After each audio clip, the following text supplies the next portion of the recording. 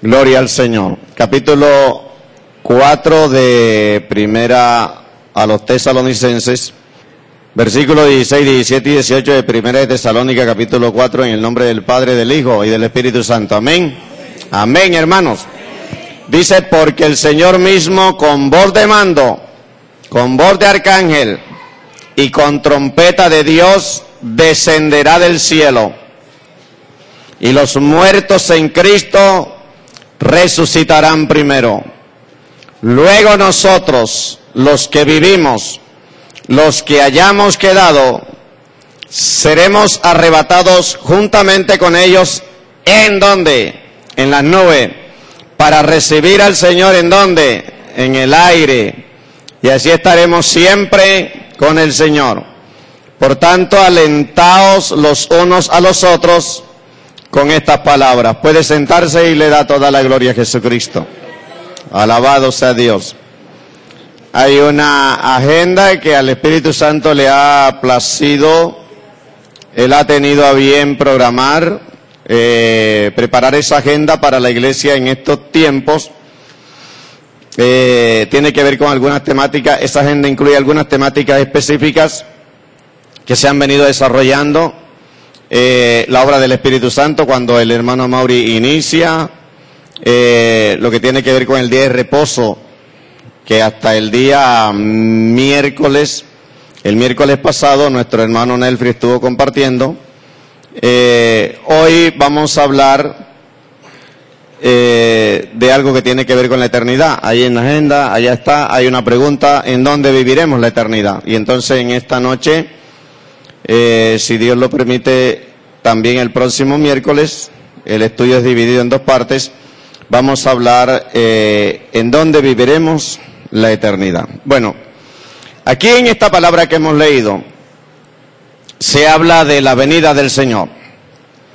Se habla de un momento de la segunda venida de Jesucristo. Y hablan de esa parte que eh, los escatólogos han llamado el arrebatamiento, el rapto de la iglesia. Y de acuerdo, de acuerdo, como lo describe aquí el apóstol Pablo, dice que el Señor mismo dará una orden. El Señor mismo cuando se vaya a suceder eso del rapto, eso del arrebatamiento, Él dará una orden. Ese será el momento en el cual, dice aquí, porque el Señor mismo con voz de mando, con voz de arcángel y con trompeta de Dios, dice que descenderá del cielo. Y dice que ese será el momento en el que los muertos en Cristo resucitarán. Ellos resucitarán en ese momento. Dice, resucitarán primero. Pablo está hablando en el sentido de que eh, eso se iba a dar en los tiempos en que él vivía. Y él estaba pensando en que él iba a estar vivo en ese momento cuando se fuese a dar. Por eso él sigue escribiendo dice, luego nosotros los que vivimos, los que hayamos quedado, dice, seremos arrebatados para recibir al Señor en el aire. Dice, seremos arrebatados juntamente con ellos en las nubes. Dice que seremos arrebatados juntamente con ellos en las nubes. Dice, para recibir al Señor en el aire Ahí se corta como que... Y dice, y así estaremos siempre con el Señor. Digo que se corta como que el itinerario, el recorrido de lo que Él está, eh, está describiendo que se va a dar. Y eh, la expresión queda allí como que, de acuerdo con la interpretación que uno hace, queda como que cortada en el aire. Y dice, y así estaremos siempre con el Señor. No dice, no dice para dónde vamos a ir, pero sí dice que por lo menos seremos arrebatados. Y cuando uno le hablan de que seremos arrebatados, dice con los que han resucitado en las nubes para recibir al Señor en el aire, uno entiende de que no nos vamos a quedar aquí. Entonces, ¿en dónde viviremos la eternidad? Vamos a analizar algunas cosas que tienen que ver con esta parte de cuál será el futuro de nosotros. y si todos tendremos un mismo fin. Regrese conmigo allá a Mateo, gloria al Señor, y en el capítulo 4 vamos a leer un versículo que aparece allí, unos dos versículos que aparecen allí en el capítulo 4 de Mateo cuando Jesús comienza su ministerio. Alabado sea el Señor. Capítulo 4 del Evangelio según San Mateo.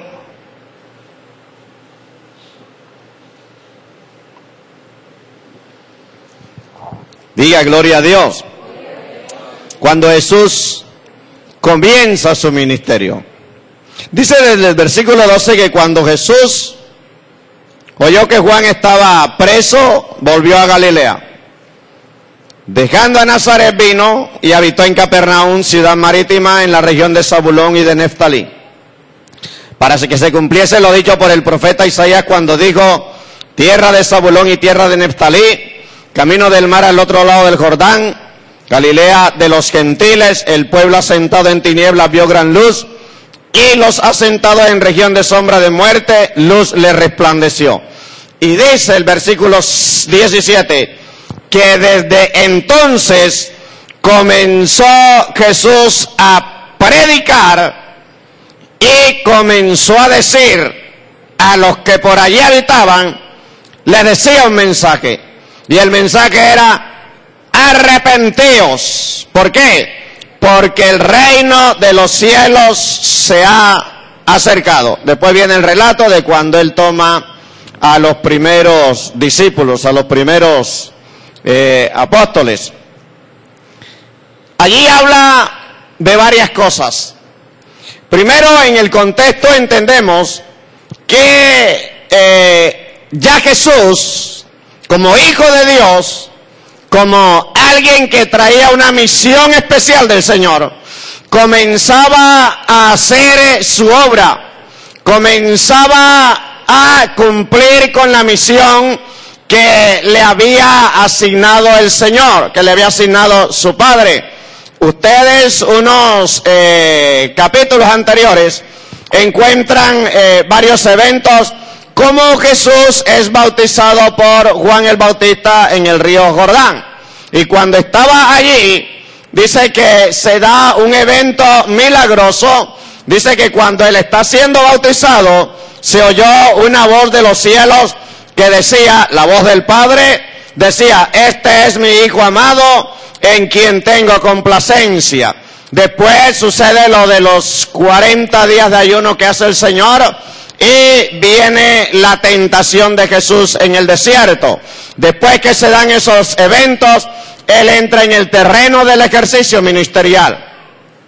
Y cuando Jesús comienza a desempeñar su ministerio, Dice la Biblia que el primer mensaje que salió de sus labios es arrepentíos, arrepentíos, porque el reino de los cielos se ha acercado.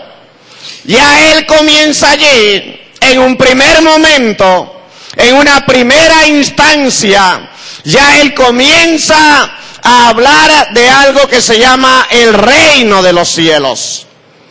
Y dice que para poder acceder, para poder acceder a ese reino, eh, que seguramente en la manera como él lo describía era algo tan especial, para poder acceder a la entrada a ese reino de los cielos, se tenía que cumplir con ciertos requisitos y el más importante, el más apremiante de todos estos requisitos tenía que empezar por un arrepentimiento. Y nosotros cuando eh, escuchamos, oímos hablar del arrepentimiento y más en los términos de una exigencia de Jesús, ciertamente nos estamos refiriendo a que había que cambiar de actitud lo que en ese momento se estaba haciendo, había que cambiar de actitud frente a lo que en ese momento se estaba practicando, frente al conjunto de conductas y de comportamientos que la persona en ese momento estaba, eh, estaba practicando y que ciertamente tenían que ver con conductas y comportamientos que eran diametralmente opuestas a la voluntad de Dios y que eran contrarias a lo que Dios Por eso dice allí que él comenzó a predicar. Y cuando comenzó a predicar el mensaje tenía que ver con el establecimiento eh, de un reino diferente al que en ese momento se estaba viviendo en medio de la humanidad, por un lado, y por el otro, estaba hablando de las buenas nuevas de salvación. Estaba diciéndole a la gente que de la manera como ellos estaban andando y de la manera como ellos estaban caminando, de la manera como ellos estaban llevando la vida, el fin, oiga, el fin que ellos tendrían no era el mejor. A su nombre. Sigue a la página, a la página que está inmediatamente después. Y en el Sermón del Monte, él nuevamente menciona la expresión. En el capítulo 5 de Mateo. Eh, como ya usted sabe, ese es todo un sermón que incluye varios capítulos, el capítulo 5, el capítulo 6 y el capítulo 7. Esos tres capítulos en Mateo, porque están específicamente allí en Mateo bajo este orden, en los otros evangelios no se encuentra en ese mismo orden, o por lo menos en ese mismo sentido de continuidad. Aquí aparecen continuos los mensajes y ahí empieza con un sermón que el traductor le ha dado la denominación de las bienaventuranzas. El primer sermón que él predica allí es el de las bienaventuranzas. Y abriendo, eh, eh, bueno, él le habla a toda una multitud. Él le habla a toda una multitud, no solamente a aquellos que le habían seguido en ese momento, sino a toda una multitud. Dice que sentándose vinieron a él sus discípulos y estaba toda una multitud, y el versículo 2 dice, y abriendo su boca les enseñaba diciendo, bienaventurados los pobres en espíritu, porque de ellos es que el reino de los cielos. Y vuelve a tocar la misma expresión en el versículo 10, dice, bienaventurados los que padecen persecución por causa de la justicia, porque de ellos es el reino de los cielos. Ahora, vaya conmigo, ahorita vamos a regresar allí, pero vaya conmigo a Lucas 17. Lucas capítulo 17.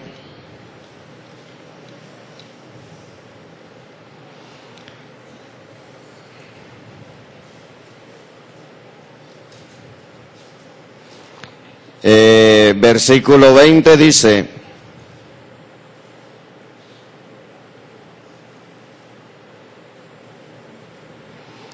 preguntando por los fariseos, preguntado por los fariseos, o sea, los fariseos le preguntan a Jesús, estamos en Lucas 17, 20, dice, ¿cuándo había de venir el reino de Dios? Le respondió y dijo, el reino de Dios no vendrá con advertencia, ni dirán, helo aquí o helo allí, porque he aquí, el reino de Dios está entre vosotros. Hay varias expresiones que Jesús usa mucho allá en, en donde hemos leído cuando Jesús comienza el ministerio y después en el Sermón del Monte, eh, él habla del reino de los cielos. Aquí habla del reino de Dios, está hablando del reino. Y ustedes encuentran, por ejemplo, en Mateo 13, vaya conmigo a Mateo 13, cuando él comienza a hablar de las parábolas, Allí nuevamente, bueno, eh, él eh, toma de nuevo el tema que hace referencia al reino de los cielos. Cuando está hablando de las parábolas. Cuando habla, por ejemplo, de la parábola del trigo y la cizaña. En el capítulo 13 de Mateo, versículo 24, le refirió otra parábola diciendo, el reino de los cielos es semejante a un hombre que sembró buena semilla en su campo y allí viene la enseñanza, pero empieza hablando de que el reino de los cielos es semejante a lo que allí comienza a describir. En la semilla de mostaza, eso está ya en el versículo 31, otra parábola le refirió diciendo, el reino de los cielos es semejante al grano de mostaza en el versículo 33, otra parábola le dijo, el reino de los cielos es semejante a la levadura que tomó una mujer y escondió en tres medidas de harina hasta que todo fue leudado. Así hasta cuando se traslada ya después a un sitio, a la casa en donde estaban solo los discípulos y también le habló del tesoro escondido que tiene que ver con el reino de los cielos. Además, el reino de los cielos, el versículo 44, es semejante a un tesoro escondido. El 45 también, el reino de los cielos es semejante a un mercader. La red, 47, asimismo el reino de los cielos es semejante a una red. Bueno, todo esto para ilustrarle que Jesús hablaba de el reino de los cielos.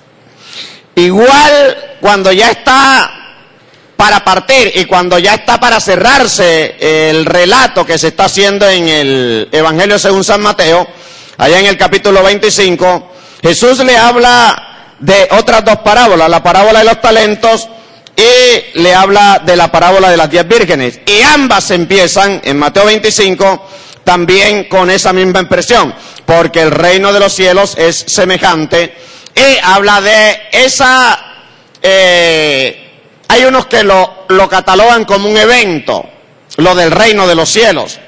En otros contextos alguien lo interpreta como si fuera eh, un sistema. Cuando nosotros hablamos de reino, estamos hablando eh, acá en, el contexto sociopolítico y terrenal, estamos hablando de un territorio en donde gobierna un rey o de un escenario en donde gobierna un rey. Pero en el contexto de lo que nosotros vemos aquí, no necesariamente deberíamos entender que Jesucristo se está refiriendo eh, a un espacio de tierra, o sea, a un territorio en específico. Quizás se esté refiriendo a un escenario, mas no necesariamente a un escenario territorial. Porque cuando ustedes, por ejemplo, analizan lo que aparece en Lucas, si bien no se describe como el reino de los cielos, sino como el reino de Dios, en el fondo uno puede interpretar que es lo mismo y que entonces se está refiriendo allí a un sistema en donde hay lugar para todo aquello que tiene que ver con el anuncio que Jesús hacía acerca de lo que era el verdadero evangelio, acerca de lo que significaba entrar a la vida cristiana.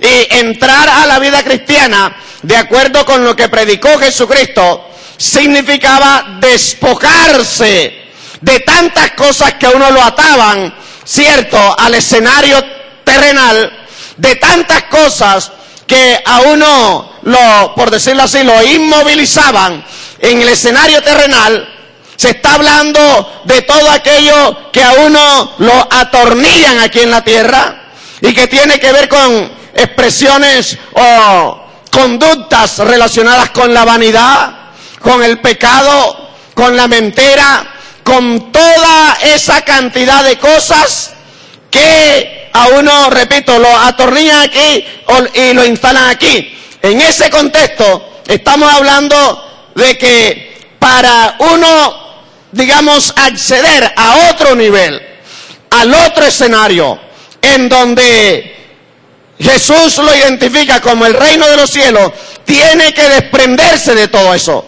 Tiene que distanciarse de todo eso, de esa vida cercana al pecado y trasladarse al otro escenario, al otro sistema en donde se practica todo aquello que Jesús enseñaba que tiene que hacer el cristiano que quiere acceder a una comunión con Dios, a una vida de comunión con su Creador.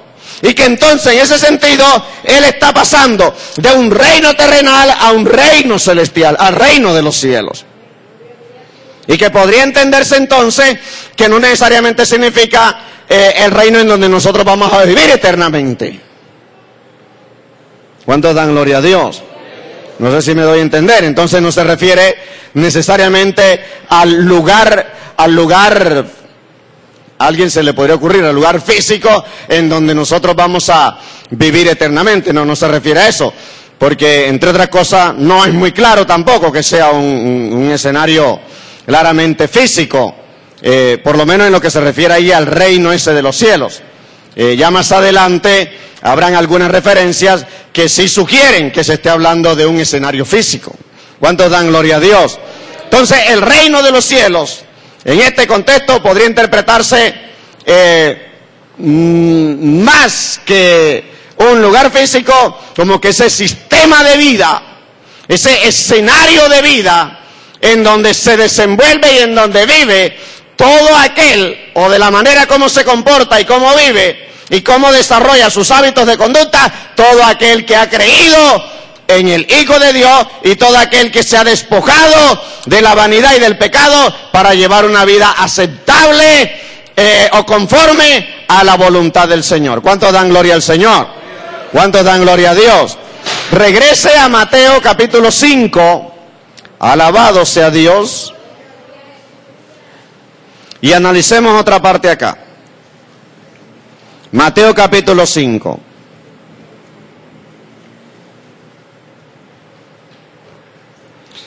Dice el versículo 5, bienaventurados los mansos, porque ellos recibirán qué cosa?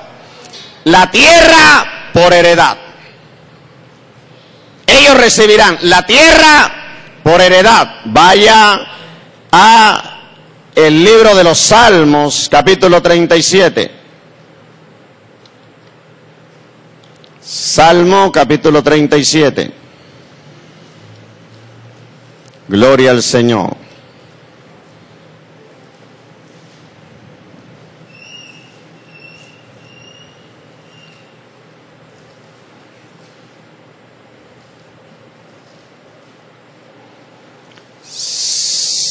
Salmo capítulo 37.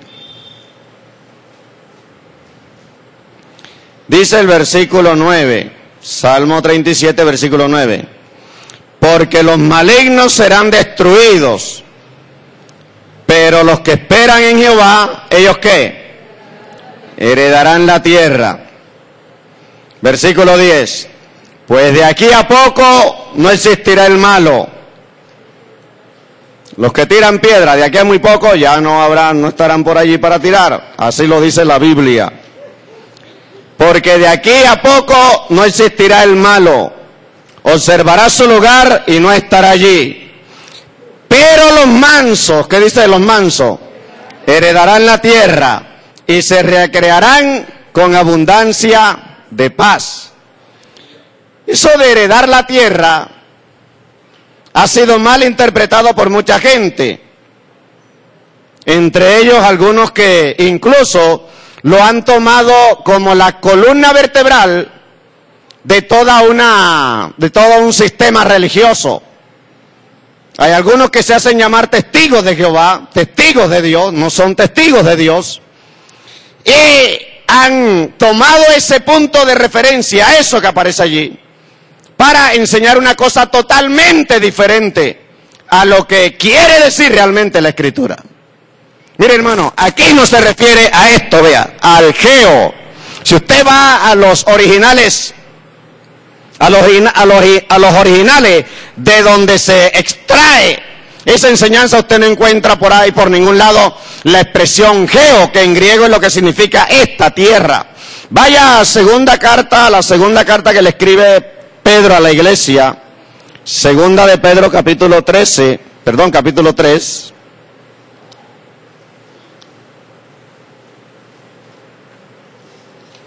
capítulo 3 de Segunda de Pedro. Diga gloria a Dios. Diga gloria al Señor, hermano.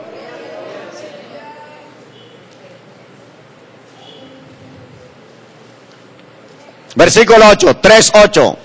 Segunda de Pedro, segunda de Pedro, capítulo 3, versículo 8. Mas, oh hermano, no ignoréis esto, que para con el Señor un día es como mil años y mil años como un día. Esto para los que tienden a desesperarse, porque estamos orándole mucho a Dios y no recibimos, bueno, para el Señor es lo mismo un día que mil años.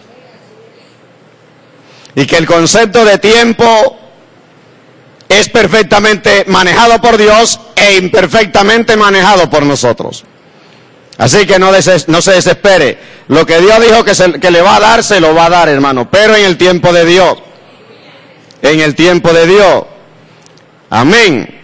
Ahora dice, el Señor no retarda su promesa, según algunos la tienen por tardanza, sino que es paciente para con nosotros, no queriendo que ninguno perezca, sino que todos procedan al arrepentimiento.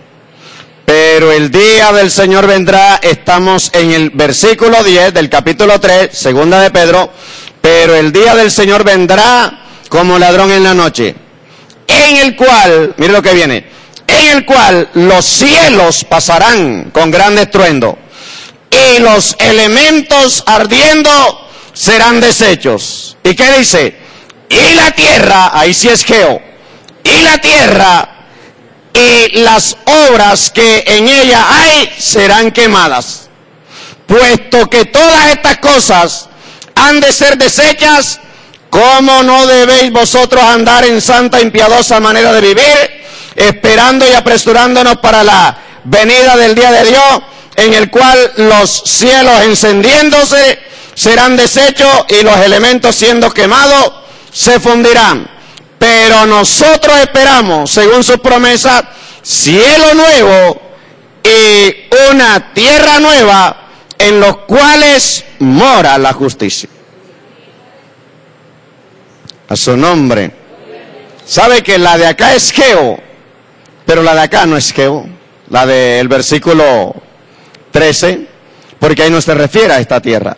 Y la que está en el Salmo 37, versículos 9 y 10, ahí no se refiere a esta tierra, ni la que también se refiere el Señor Jesucristo en el capítulo 5 de Mateo, en el versículo 5, la tierra que aparece allí de que eh, ellos recibirán la tierra, los mansos eh, recibirán la tierra por edad, tampoco se refiere. Se refiere, hermano, al lugar en donde hemos habitar eternamente, pero que no necesariamente es esta tierra. El, libro de Apocalipsis, capítulo 21,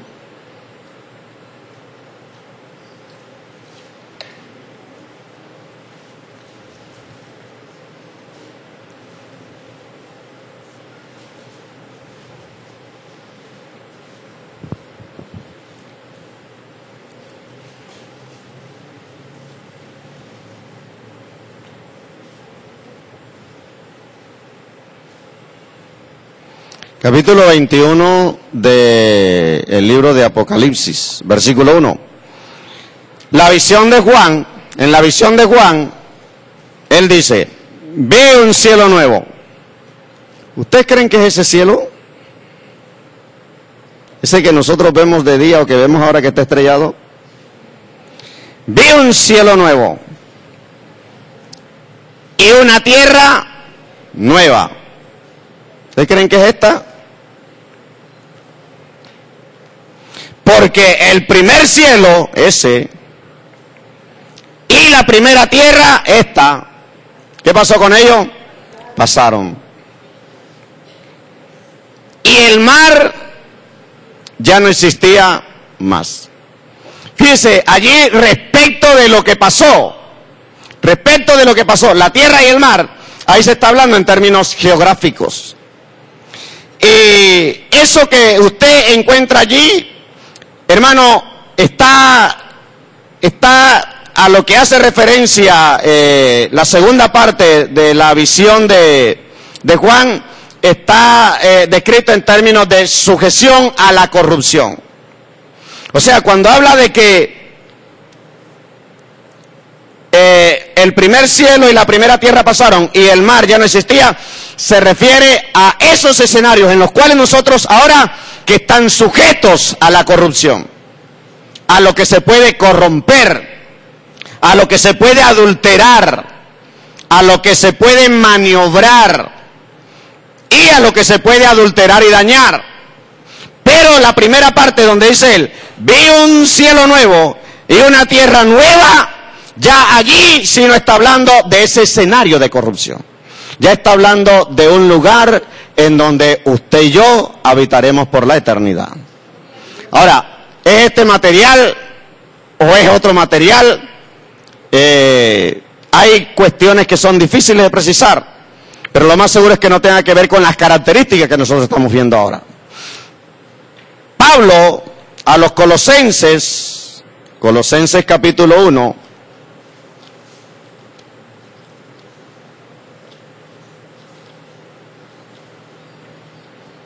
Colosenses capítulo 1.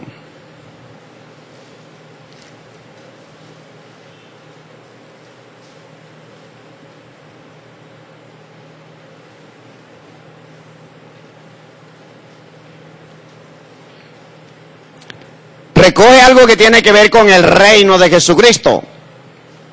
Capítulo 1, versículo 13 dice, el cual nos ha librado, se refiere a la obra del Padre. Versículo 12 dice, con gozo dando gracias al Padre que nos hizo aptos para participar de la herencia de los santos en luz. Para participar de la herencia, mira, ahí también habla de la herencia de los santos en luz, el cual nos ha librado de la potestad de las tinieblas y nos ha trasladado al reino de su amado Hijo. Eso sugiere otro reino en donde reinará Jesús, pero ese reino no es terrenal. En el en la primera carta a los Corintios,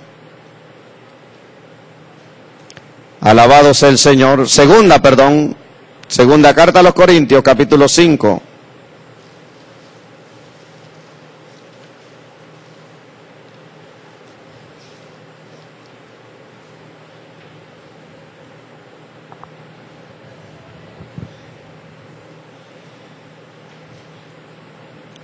Capítulo 5 de la segunda carta a los Corintios, versículo 1.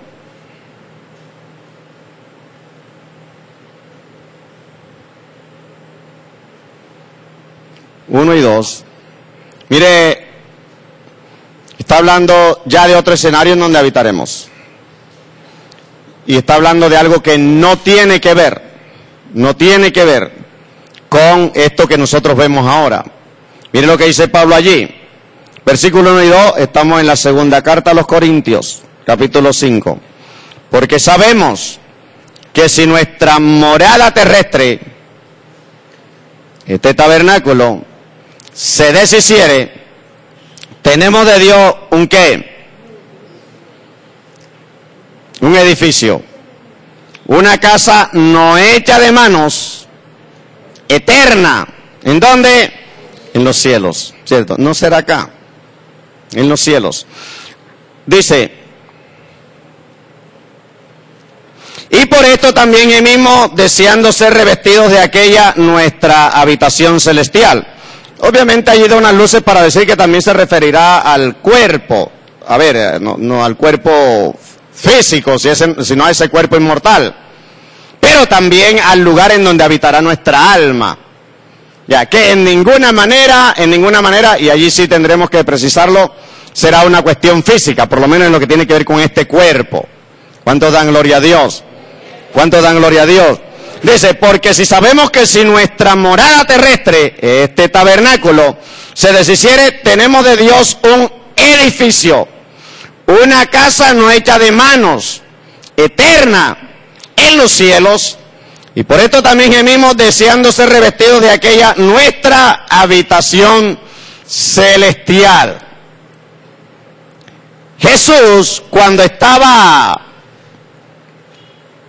con los discípulos y cuando le va a hablar de la obra del Espíritu Santo, Jesús se reserva un momento para decirle a ellos, eh, como que preparándoles para la venida del Espíritu Santo, le dice que ellos no van a quedar huérfanos y que no se preocuparan ni se lamentaran ni se, entra, ni se entristecieran porque él tendría que irse. Le dice, ustedes de todas maneras no van a quedar huérfanos. Yo rogaré al Padre para que Él envíe el Espíritu Santo. Y cuando Él venga, bueno, Él hará su obra, lo que, lo que allí le describe. Pero Él dice, Él dice que Él no se va a ir solamente por irse. Y también dice que la ida de Él tiene que ver con una misión que Él va a cumplir posterior a la que ha cumplido aquí y que la que va a cumplir allá tiene que ver con preparar un lugar para los discípulos. Y eso no iba a ser en la China, ni en Argentina, ni en Rusia, eso no iba a ser aquí. Eso está en Juan capítulo 14. A su nombre. A su nombre, hermano. Diga gloria a Dios. Diga gloria al Señor. Capítulo 14 de Juan. Le dice a los discípulos, no se turbe vuestro corazón. Creéis en Dios, cree también en mí. Y dice, en la casa de mi padre muchas moradas hay. Si así no fuera, yo se lo hubiera dicho. Voy pues, ¿a qué? A preparar lugar para vosotros. Y si me fuere y os prepararé lugar, vendré otra vez y os tomaré a mí mismo para que donde yo estoy, vosotros también estéis. Y Él no se va a quedar aquí. Él va a estar en un lugar en donde la plenitud de la deidad de Dios, en donde la plenitud de la gloria de Dios, en donde la plenitud de la divinidad y de la justicia de Dios es la que va a reinar, es la que va a prevalecer. Entonces, hermano, mire, eh, es interesante que nosotros entendamos que Dios quiere llevarse a un pueblo a un lugar que nada tenga que ver con corrupción. Que nada tenga que ver, por ejemplo, con desorden. Que nada tenga que ver con inmoralidad o con perversidad. Es más, cuando Jesús, a ver, cuando se le da la visión a el apóstol Juan en la isla de Patmos, allí en Apocalipsis, él describe quien le está hablando a Juan, le describe lo que va a ser la forma de vivir y la forma de existir ahí en ese lugar que él prepara para la iglesia, para la que va a ser tomada. Y le da ciertas características de cómo va a ser la vida allí. Y le dice, allí no habrá más dolor, allí no habrá más llanto, allí no habrá más tristeza, allí no habrá más enfermedad, o sea, todo ese tipo de cosas que a nosotros en este mundo nos, nos agobian, todo ese conjunto de cosas que a nosotros aquí en esta vida terrenal nos causan padecimiento, nos causan aflicción, nos llevan a una, eh, a una vida de zozobra, de angustia, de desesperación. Bueno, todo ese tipo de cosas que son propias de esta, hermano, de esta vida terrenal y de esta existencia en la tierra, todo ese tipo de cosas que son propias de esto, si nosotros perseveramos, si nosotros nos mantenemos, si nosotros hacemos la voluntad de Dios, si nosotros nos sometemos a Dios, nosotros tenemos un lugar en la eternidad para vivir con Dios. A su nombre, a su nombre.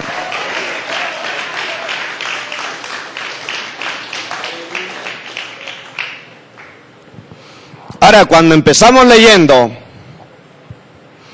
en la carta que el apóstol Pablo le escribe a la iglesia de Tesalónica, él relata, de acuerdo con lo que él ve y de acuerdo con lo que el Espíritu Santo le da, él dice que el Señor mismo, con voz de mando, con voz de arcángel y con trompeta de Dios, dice que descenderá del cielo descenderá del lugar en donde está con el Padre. Dice, y los muertos en Cristo resucitarán primero. Dice, luego nosotros, los que hayamos quedado, dice, seremos arrebatados juntamente con ellos en las nubes en las nubes, o sea, no será acá. Quiere decir que será en un lugar diferente a esto. Y que será hacia arriba. Dice, y recibiremos al Señor, nos encontraremos con el Señor en el aire. O sea, no es acá. Pero eso digo, ahí hay una sensación de expectativa, no de vacío, sino de expectativa, porque uno no sabría a la luz de lo que dice allí, si de pronto hay luces en lo que dice Apocalipsis, pero de acuerdo con lo que dice allí, uno no sabría, ¿cierto? Si estará esa morada en el aire que nosotros vemos o en el aire que nosotros consideramos. Pero independientemente en donde esté, hermano, lo interesante es que vamos a vivir con el Señor lejos de la vida de corrupción y de perversidad en la cual se acostumbró en este mundo. A su nombre, a su nombre. Por eso es que Pedro, hermano, cuando le habla allí, cuando Pedro le dice a la iglesia, o cuando Pedro le habla a la iglesia, le dice, por cuanto todas estas cosas van a ser desechas, y por cuanto nosotros estamos convencidos de que vamos a un lugar mejor, nosotros tenemos que estar apercibidos. Yo creo que en este tiempo, urgentemente, hermano, urgentemente, nosotros estamos llamados a considerar seriamente lo que es nuestro andar como hijos de Dios. Nuestro proceder como iglesia de Jesucristo. ¿Por qué? Porque esos eventos de los cuales nos relatan la Escritura, que sirven como punto de referencia para marcar el paso a la eternidad, esos eventos están cumpliéndose. Y esos eventos están pronto por darse. Cristo viene pronto. Amén, hermano. Cristo viene pronto. Y se va a llevar a un pueblo, no a los evangélicos. Se va a llevar a una iglesia santa y pura para que habite con Él en la eternidad. Y si usted y yo queremos estar allí, en ese lugar, si usted y yo queremos estar allí en ese evento del arrebatamiento, si usted y yo queremos habitar eternamente con el Señor, tenemos que llevar una vida digna de ser llamados hijos de Dios, de ser llamados pueblo de Dios, de ser llamados iglesia del Señor. Tenemos que hacerlo, hermano. Y hoy más que nunca el llamado es urgente porque Cristo viene pronto. Amén, hermano. Cristo viene pronto. Revisaremos en la otra parte eh, ya lo que tiene que ver con mayor detalle lo que vio Juan allá en la Nueva Jerusalén. Porque cuando a uno le hablan de Nueva Jerusalén, ya le están hablando como que de un lugar más específico en donde la iglesia va a habitar. Y ojo, no serán 144 mil. Como se está inventando el diablo de... No, no, no serán 144 mil. Será todo un pueblo santo, todo un pueblo puro, que ha escapado para darle la gloria al Señor y para habitar eternamente con Él. Póngase de pie, vamos a orarle a Dios, vamos a darle gracias al Señor.